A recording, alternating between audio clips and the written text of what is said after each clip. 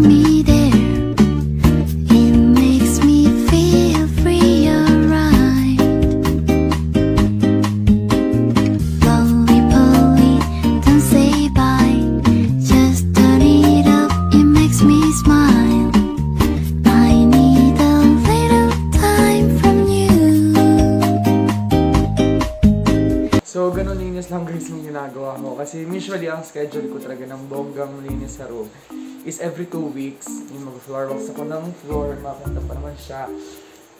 And, hindi ko ginalaw masyado yung bed ko kasi bago, kahit parang um, pagbabangon ako, inayos ko na talaga siya para hindi na siya hassle.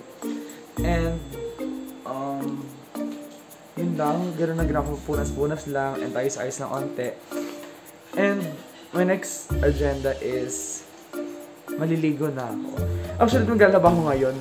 Ang laundry day ko is Thursday, pero parang gusto ko maglaba ngayon para hindi lang matambakan sa Thursday. Pero tinatamad ako. Kaya maliligo na tayo. Let's go. Bahala na mamaya kung maglaba ako. Hindi. Let's go!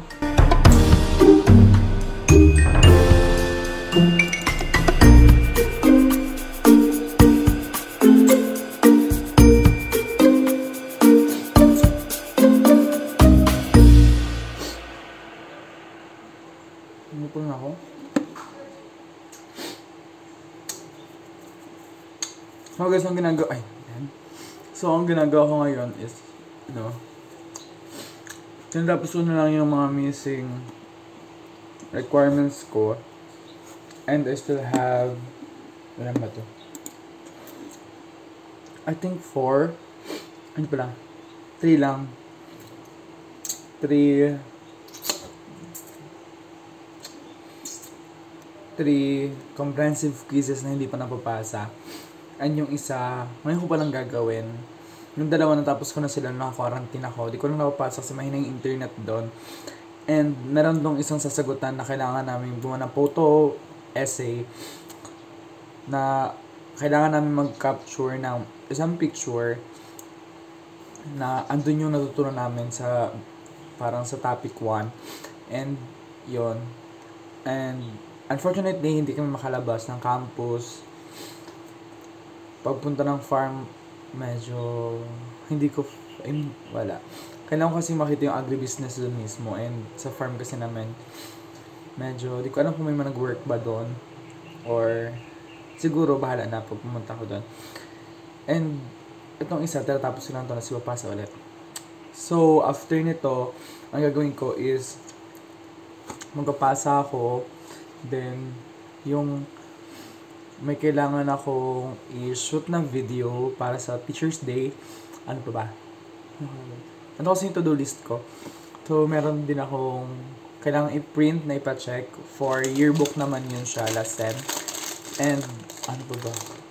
And yung program para sa Teacher's Day, kailangan, siguro magpamit ako ngayon sa kanila. Para maayos na, kasi sa Tuesday na yon so i-edit pa ibang video. And, ayun, so, ayun, gagawin ako requirements. Oh! Gusto ko yung ano? Na-demo ako guys, kasi research namin talaga. Until now, hindi ko pa alam yung research namin. Kasi hindi ko talaga alam. Dahil, hindi ka makahanap sa internet. Ang nahanap na sa internet, more on, ang research more on, ano siya, kailangan mag-interview ng mga farmers. Parang ganun-ganon. Para kailangan interaction ng ibang tao. Eh, ang gusto ng teacher namin na, before na, na kailangan namin mag, ano, yun? Kailangan namin mag, anong tawag dito? Kailangan, hindi pwede kami, hindi kami pwede lumabas ng campus. Kasi nga, hindi pwede kasi nga, COVID, tapos baka kung mapano kami before ha, nung hindi pa kami nag-lockdown. Ngayon lockdown na kami. Bawal na tayo lumabas ng campus. And, and dahil namin naisip, meron kami naisip na ganito, na ganyan, na ganito. Tapos hindi namin kung tama ba yun, or sabihin natin na, agribusiness research ba yun? Tama ba yun? So, yun yung, ngayon, kailangan ko ng tulong, mag-chat-chat ako kung sino gusto sa comment ko, kung sino pwedeng tumulong. Sana may agribusiness graduates na mag-comment na. Hmm. Tapos ano ba ba? Ayun lang. So, kaya ko sa matapos ng 30 minutes in requirements. Let's do this. Mm.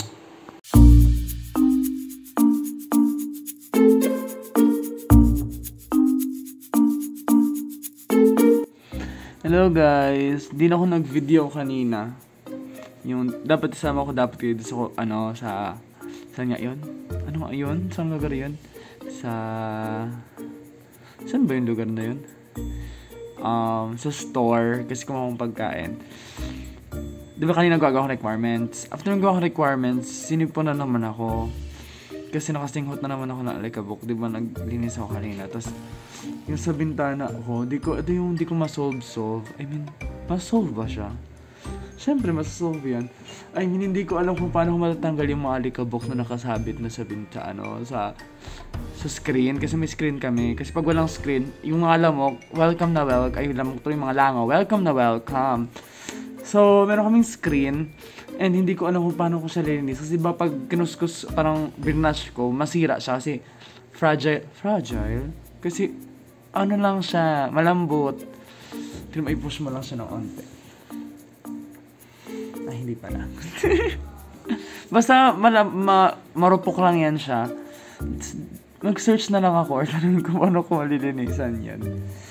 Tapos kanina, di ba nag-lap, nag-laptop laptop ako. Tapos sabi daw, oh, may announcement. Sino may nag-bell? Tring, tring! Oh, di ba ganun bell? Tapos sabi, lumabas muna kayo kasi mag magpapausok ang clinic. Tapos hanggang ngayon wala pa rin naman nagpapausok. So, andito lang ako sa room. Nagigiga lang ako. And, siguro pahinga lang muna ako kasi mamaya may gagawin na naman ako. Mag, pagtuloy ko research namin. Tapos, mag-video ako. Tapos, ano pa ba? Video. May piprint ako kasi may papacheck ako ito naman sa forward sa may sa ano sa sa yearbook. Tapos ang ginagawa ko, ang meron pa sa laptop ko, do sa laptop ko, nagbukas ako ng Canva kasi gagawa ako ng ano ng ng mga pop-up videos eh kunwari yung sa ano baga yung sa dito nakalagay yun dyan lumalabas dyan yun gagawa ko ng ganon tapos, nakakatamad. Nakakatamad yung Sunday.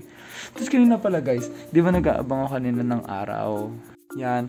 Nag-aabang ako kanina ng araw. Tapos, sabi ko, mag, ano sana ako magbibilad.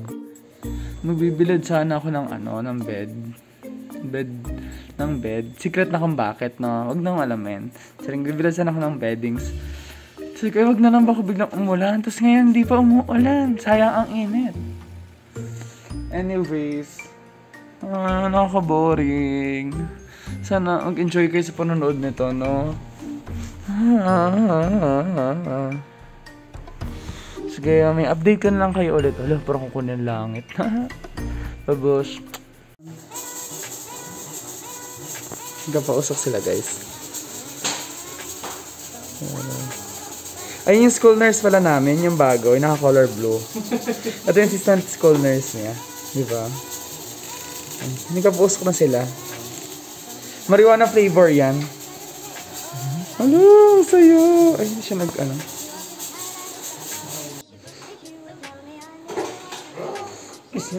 Sige, pag may nasira dyan ha. Sige, sige.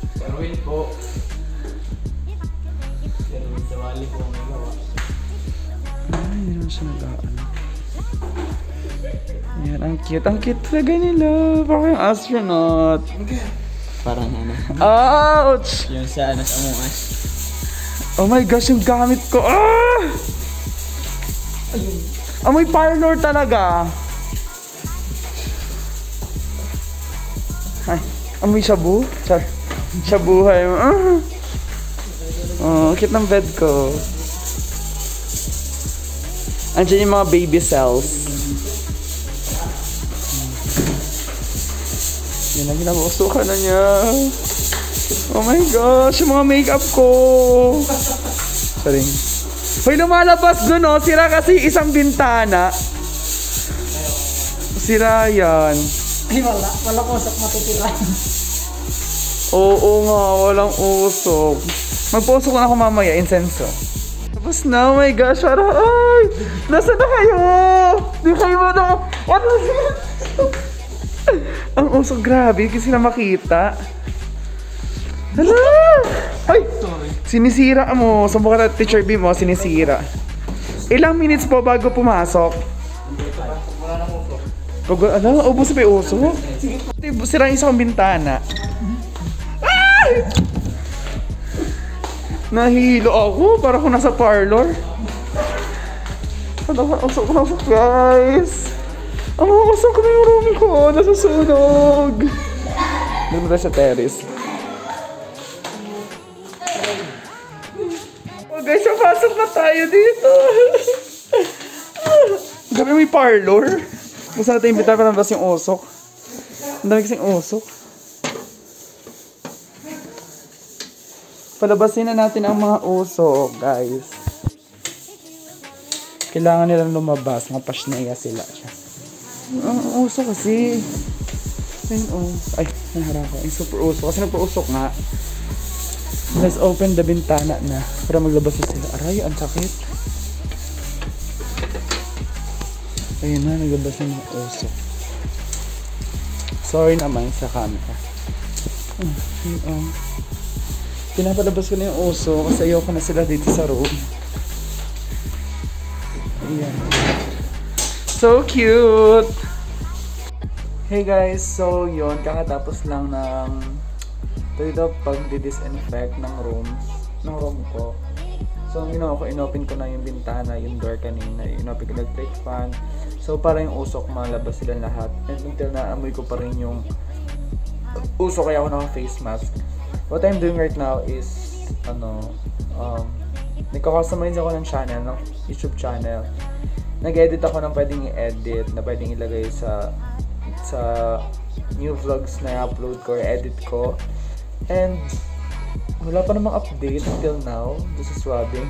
May sabi pala nila na parang isa-swab muna daw yung na, mga boys na na-quarantine sa New Academy building pa nag-alisan namin. And pag nag-positive yung may nag-positive dun sa kanila, tsaka kami i-swab lahat. So, wala pa naman. Eh guys, nabudol na naman tayo.